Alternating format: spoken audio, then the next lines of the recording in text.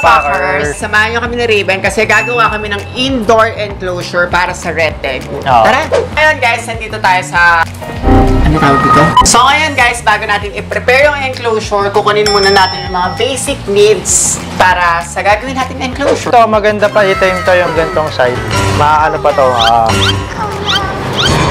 makukuha nyo pa yung loob nito. Hindi mo kumasakit. Nakalakiya. Ah, kaya ko pa, pakagat ka.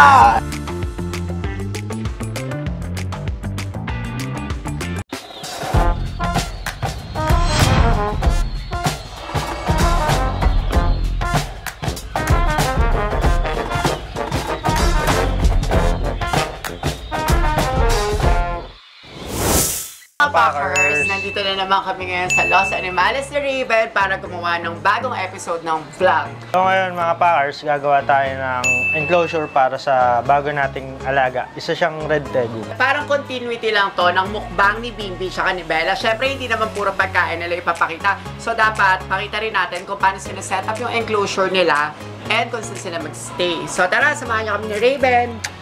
So, ngayon guys, nandito tayo sa... Sa merchandise natin na So, ngayon guys, bago natin i-prepare yung enclosure, kukunin muna natin yung mga basic needs para sa gagawin natin enclosure. Di ba, Raven? so, UVB. UVB na 10.0 13 watts. Brand is Reptario na Halogen. halogen basking lamp na 35 watts. So, pa pwedeng mas mainit. Depende kasi sa enclosure yan na gagawin. So, mamaya papakita namin sa inyo yung enclosure na gagawin kung bakit 35 watts din yung ginamit namin. So, gagamit din tayo ng dome. Yan. Tag-isang dome para sa dalawang ilaw. Ayan. Tag-isa sila. So, alika na, Riven. Ano, ah... yung gagamitin natin beddings. Kaya sa beddings naman, sige, ikaw yung magkuha. Gagamit tayo ng ano, ng Exo Prime Bark. Exoprime bark, so pwede rin natin laga ng ah, forest floor, yung medyo moist. Oo. Kasi sobrang init ng panahon ngayon. And also, pwede rin din natin laga ng Zoomed Repti Repti bark. bark. Ayan. Halu-haluin lang natin. Tsaka to, para sa beddings ng Tegu. So, Raven, sa tingin mo, bakit ang gandang alagaan ng Tegu? Sa akin kasi ano, ah, nalaman ko na ano na sila yung mga uri ng ah, monitor na matatalino na kung ano yung ginagawa mo sa kanila araw-araw, baga na ano na, Na-adapt na Yes. nila. And, ito ah, ano, trivia lang, na ang Tegu ang pinaka-smartest lizard. Saan mo ba prefer na nakalagay sila? Ako kasi, di ba, ah, sanay ako sa Tego kasi meron ako sa Bimbi, tapos nandiyan din sa Bella. Ginagawa ko, pag maliit sila, sa maliit na enclosure din, kasi mas madali silang itim. Oo. And then, kapag habang lumalaki sila, pinapalitan ko yung enclosure hanggang sa yung ma-reach na nila yung adult nila. So, tinatry ko silang mag-free roam. So, thankful naman ako na si Bimbi naka-free roam, tapos alam niya kung saan siya magpupup, alam niya rin kung saan siya magwiwiwi, Oo. kung kailan siya kakain, and walang kagat history si Bimbi. Si Bella kasi yung red tegu ko, medyo skittish pa. Siguro na rin kasi magaan pa. Maganda kasi sa tegu, pag busog sila, doon pumapasok yung obesity nila. Pag busog sila, hindi sila gagalaw. So, Oo. dapat talaga, pag Hindi talaga sila nagiging Mm, active. so dapat gagawin mo, bigyan mo sila ng mga activity para hindi sila ma-obese kasi wala, sayang. Pero yung si Bimbi, ang cute-cute pero may prolapse. Oh. Napansin ko kay Bimbi yun eh, pag ano, pag naiinitan, tumatambay dun sa labas. Lumal- Lumalabas siya eh. O kaya minsan sa CR ganun. Pag magpo-poop, nasa CR siya. Oo, one time nga, akala ko lagi ko naiiwan yung ref ko. Minaidi ko yun eh. Nga. Tapos, eh, napaaga ko ng uwi. Pagbukas ko ng bahay, nasa loob siya ng ref. Natutu- Nagpapalamig eh. natutunan niyang buksan. Okay, meron kaming available na Red Tegu. Mag-PM lang kayo sa page ng Woolpack Exotics for your increase and price, questions, everything. So, Raven, pakikuha yung available na Tegu natin. Ayan. Ito. So this is Argentinian Red Tegu and available to sa Los Animales. Gender is female. Yan. Ito Ayan, pa naman yung, niya. yan yung size na sobrang sarap itim. Kasi maliit pa lang. Sobrang sarap din ng kuko niya eh. Oo, parang Sakit. ako. Ito, maganda pa i-time to yung gantong size. Maano pa to, ah... makukuha nyo pa yung loob nito. Kasi sa mga malalaki, lalo na hindi tame. Mahirap na. Oh. Ngayon, syempre sa Tegu, ingat lang kayo ah, kasi pagka alam nilang threatened sila, nag-aano sila, nagda-drop tail sila. So, ang pangat sa Tego pag Ah, nagaganon ba yung Tego? Di ba si Bella may drop tail maliit, pero nagre-regen naman. Kaso ang problema, katulad nito, tingnan mo, medyo masungit pa. Oo. Pati mo kumasakit. Nakalakiya. Ah, kaya ko pa. Ka. Kuha natin siya para mailipat natin sa bago niyang kulungan. Isa-set natin, isa-set up namin ni Raven. Yan. Yan. Samahan niyo kami ni Raven kasi gagawa kami ng indoor enclosure para sa Red Tag. Oo. Tara. Dito kami ngayon sa, ano, sa reptile room dito sa Los Animales. Oo. So, bali, ito yung indoor enclosure na isa-set up natin para sa Red Tegu. So, hindi siya ganun kalakihan. Sapat lang para makagalaw siya, para Oo. makakain, and para madali ring hulihin. Pagka bonding time, ganun. So, ayan. Kumbaga, pansamantala lang naman. Kasi pag adult na, pwede mo na siya i-free roam. eh. Gagamit tayo ng extra prime bar. Ayan. So, Raven. Set lang natin siya. Yan. Tapos gagamit din tayo ng Zoomed Forest Floor Beddings. So, syempre, tatanungin nyo, bakit forest floor? Eh, pang dry naman si Tego. Sobrang init kasi ngayon. So, gumamit tayo ng bedding sa, alam mo yun, magiging komportable sila para iwas din yung, Oo. ano, May ano pa stroke. rin, may humidity pa rin kahit papaano. So, imimix lang natin to sa, diba? Eh, no, ayaw bumukas. Ako na? Eh, ayan na. ayan. Siyempre, di ba guys, so tayo masyadong seryoso. Nag-mix lang natin. Haluin mo kaya. Ayan. Charot. Ayan. So, ito pa pala tip. Ah, fun fact about Tego, kumakain sila ng fruits. Tsaka hindi lang puro meat. Oo. Ayan. Bibi yung kamay mo. Kakalat lang natin siya sa buong enclosure. Yan.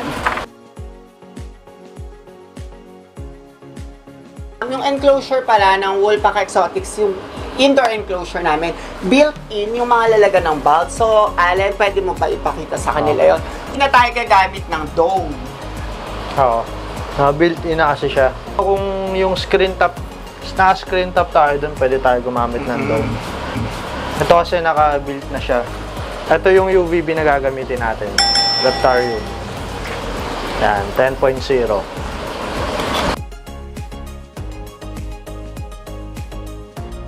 natin tong UVB. Sa lahat naman ng reptiles, kailangan to. Para sa ano, ah, sa calcium, sa UV, sa UV na ano. Kumbaga ito yung ah, artificial sunlight natin. Gamit din tayo ng basking light. Halogen lamp. Ayan, gawa rin siya ng Reptarium. Gamit natin ngayon 35 watts kasi di ganun kalaki yung enclosure natin. So hindi tayo pwedeng maglagay ng mataas na wattage kasi baka masobrahan ng init yung reptile natin. Oh. Position nung lagayan natin ng bulb, medyo mababa. So, 35 watts lang yung gagamitin natin. Sa atin siya. Ayan. Ayan. Don't forget the water dish. Ayan. Although, yung water dish importante ngayon. Again, paulit-ulit kasi sobrang init ngayon. Mhm. Pero kung okay naman yung weather, pwedeng wala ng water dish kasi itataob lang nila. Ay, nako, maniwala kayo sa akin. Dahil tsaka mas maganda kung gagamit ka ng water dish, yung medyo mabigat Mm-mm. So, dito na lang natin sa corner ilagay. para hindi nila kayang itaob. And gusto kasi ng Tego naglalaro sa tubig. So, kung may mga bathtub kayo sa bahay, Yun wow. pwede. kung malaki, kung sobrang laki ng enclosure, pwede yun. Pwede nyo lagyan ng bathtub. Charot. Ayan. Next. Oh, walang food dish kasi live feeding sila eh. Mm. So, pero... Pwede eto, ka another- gumamit ng tong. Mm-mm. Tong na Another tip. Para hindi maging matrigger yung tapang ng tego, pwede siya pakainin ng chicken breast fillet, gano'n sa siya. Yung minsan kasi pag live feeding, yun nga, medyo nagiging aggressive sila. Oo. Kasi alam nilang buhay yung kinakain nila. Yun, na, na, nakanood ako nun eh, sa YouTube yata. Yung pinakain siya ng sisiw yata, tapos medyo malaki. Yun, winagwag niya talaga eh. Tsaka Sobrang- naglalak yung jaw niya Oo. sa live feeding. So, yun din yun. Ang daming characteristics ng tego na kakaiba eh. Baga pag sinanay mo siya sa, ano, sa ah, raw, medyo, ano, ah, Babae. ah, hindi, ano, ah, Hindi kasi so, ba... sobrang gentle nila kumain pag ganun. Hindi Baga, kasi ano, na lang nila. Bonding din nila yon ni owner at saka ni Tego. Susubuan, malalapit siya, di ba? Kahit anong reptiles naman Oo, ganun. kasi kaya subuan mo Baga taas. Banding. di ba? Natawa siya. Sige, subuan mo si Rosa. Ayan. So, ano pang kulang, Raven? Ah, ito, gamit tayo ng Yan, sige. basking basking spot na to. Ang laki. Trump. Hindi, ano, gamit tayo na ito para pag magbabask siya, after niya kumain, pwede siya dito tumambay. Yung belly niya, yan, dito siya pepwesto para mabilis siyang makapag-digest tsaka maging okay yung metabolism niya. And syempre, since kung halimbawa magpapakain tayo ng ano, ng ng raw meat, so lalagyan natin ng calcium powder dahil kailangan nila yung calcium for their bones. So pwede rin tayong gumamit ng Reptivite. Ayan, either of the two, parehas naman silang good for our pets. Hindi lang sa tegu, sa lahat ng reptiles okay Oo. ito. Talaga ng, yan, additional some ano lang, Ano lang, designs ah, lang. design lang. Kasi hindi rin naman nila, ma, ano eh, hindi nila kailangan yung sobrang maraming designs. Oo. Kasi the more na maraming designs, pwede nilang pagtaguan. Yun. Tsaka pag may ano sila eh, pag may hide, minsan nagiging territorial Oo. talaga sila eh. Pag may mga hide sila. Hmm, ayan. So maganda ano eh, ah, baga may nakikita na niya talaga yung, oh, nasasanay Oo. siya sa tao. So, do, I think, Raven, pwede mo nang kunin yung red tegu natin. Saan ba siya? Ayan. Tapos, ayun nga guys, so napakadaling alagaan ng Tegu. As in, pagka naging pet nyo to, tapos napaamo nyo, as in parang aso siya, free roam sa bahay nyo, tas sobrang talino nila, and I'm sure naman familiar kayo sa mga sikat na Tegu, di ba? Si MacGyver, yung Putol yung Buntot, yung Reden, syempre si Bimbi ng Wolfpack Exotic, syempre, anak ko yan. Ayan, so ito, ganyang enclosure lang yan, okay. So, okay na yan, Alan, pwede mo silang i-close up.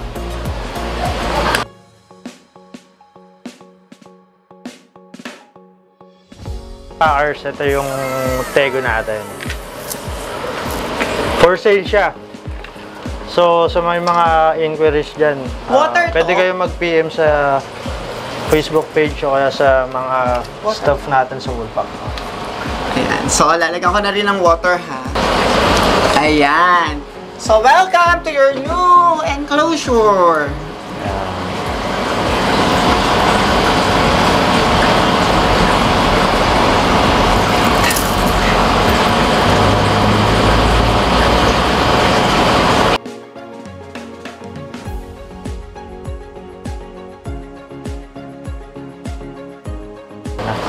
So, hayaan na natin siyang mag-relax dyan.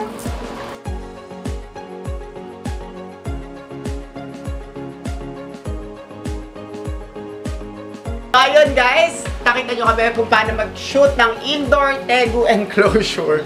Tapos, Raven, So, yung may mga inquiries na, ayun, na for sale yun na, yung pinakita namin Oo. tego, for sale siya.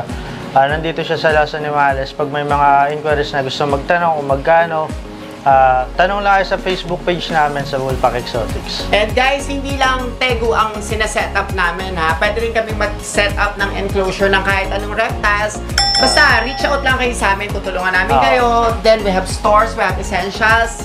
So, I think that's why Los Animales and Multac Exotics one-stop shop. And don't forget to Like subscribe! and share our Ah, share yung ano yung ah, mga videos namin. Ah, Oo. And I hope may natutunan kayo sa amin. Once again, this is Joey. and this is Raven. Bye, Packers! Hi mga powers.